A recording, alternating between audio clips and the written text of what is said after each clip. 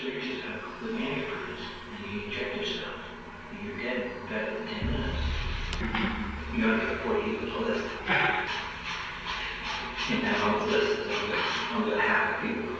Picture this a seemingly ordinary pig farm nestled in the rural outskirts of Port Coquitlam, Canada, where the green fields mask a sinister secret. Hidden beneath the facade of family farm life, Robert Pickton, a quiet farmer, became one of the most notorious serial killers in Canadian history.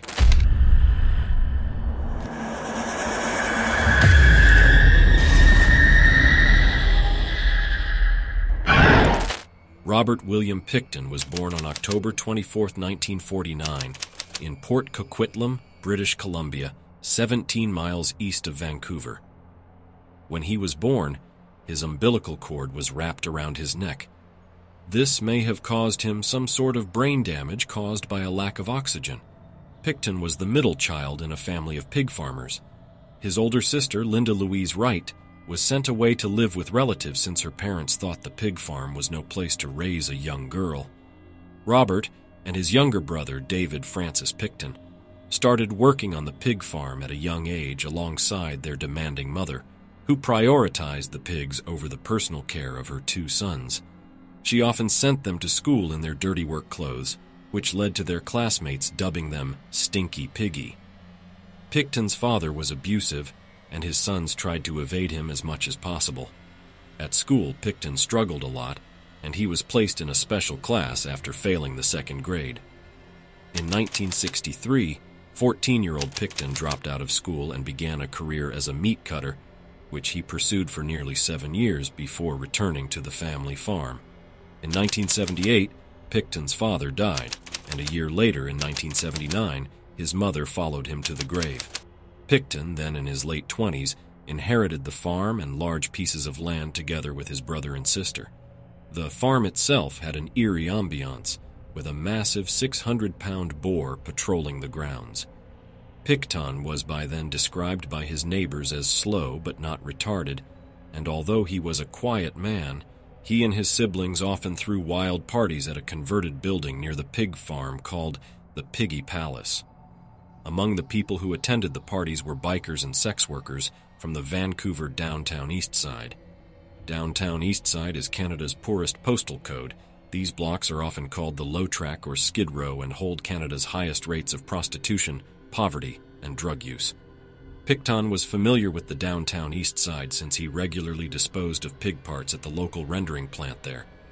When he drove around low track, he would often offer women money or drugs and take them back to his farm.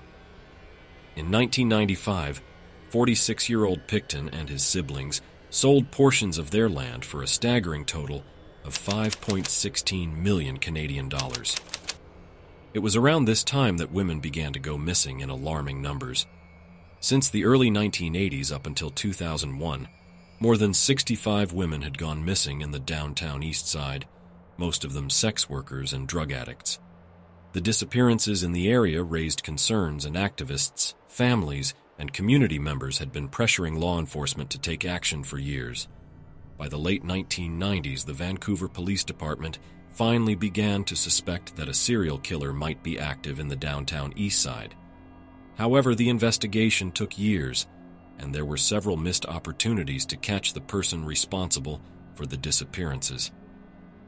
On March 23, 1997, a motorist found a wounded woman beside the highway at 1:45 a.m.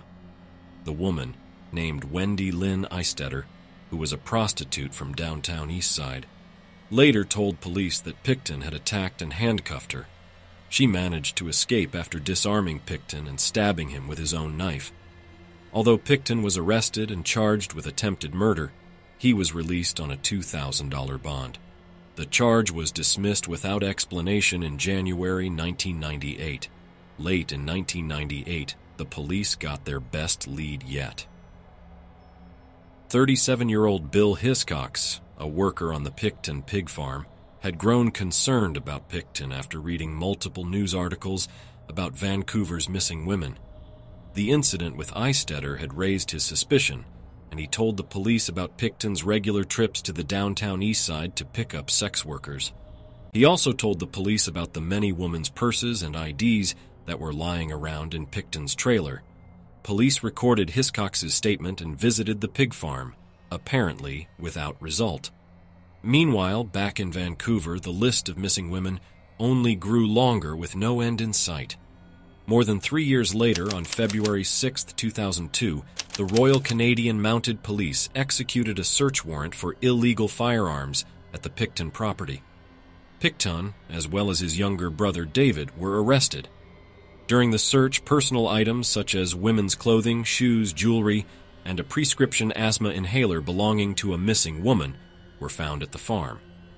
Because of the many items found, police obtained a second warrant to search the entire farm as part of the BC Missing Women investigation, and the farm was sealed off. As police searched the grounds of the pig farm, they found multiple human remains, such as a skull cut in half and a freezer stuffed with human hands and feet, DNA from 33 different women, bloody clothing, a jawbone, and teeth.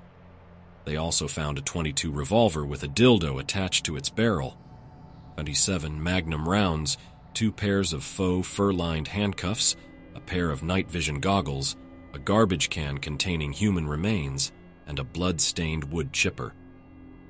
On February 22, 2002, Pickton was charged with two counts of first degree murder in the deaths of Sereena Abotsway and Mona Wilson. On April 2, 2002, three more charges were added for the murders of Jacqueline McDonald, Diane Rock, and Heather Bottomley. A week later, a sixth and seventh charge for the murder of Andrea Joesbury and Brenda Wolfe followed. Before the end of the year, eight more charges were added, bringing the total to 15, making the investigation the largest of any serial killer in Canadian history.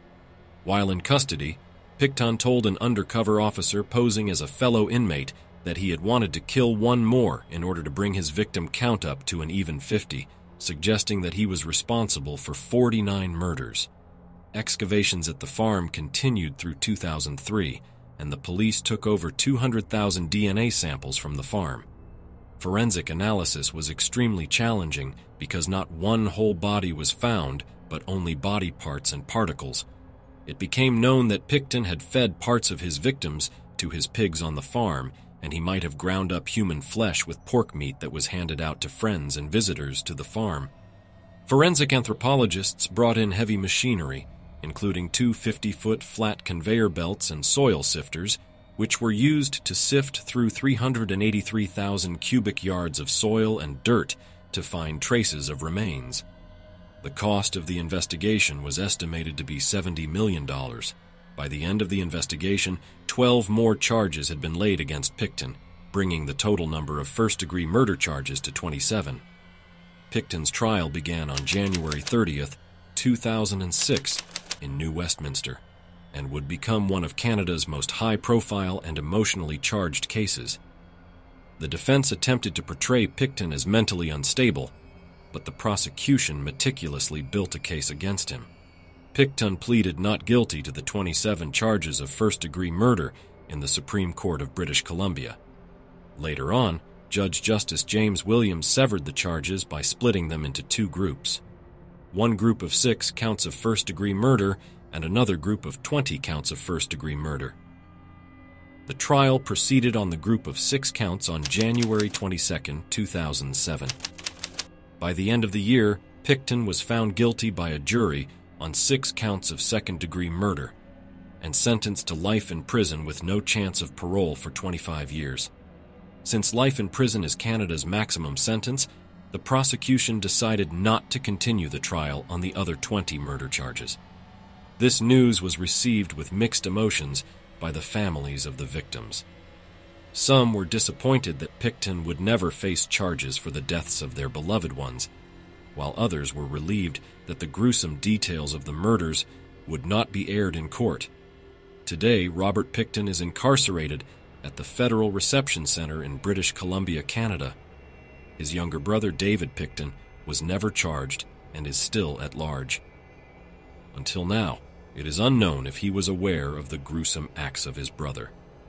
As we conclude this narrative, it's essential to remember that the story doesn't end with Pickton's conviction. The legacy of his crimes lives on in the hearts of survivors and the families who mourn their lost daughters, sisters, and friends. Share your thoughts on Pickton's crimes in the comment section below. If this story caught your interest, please like, subscribe, and hit the notification bell for more stories about serial killers worldwide. Until next time, and stay safe.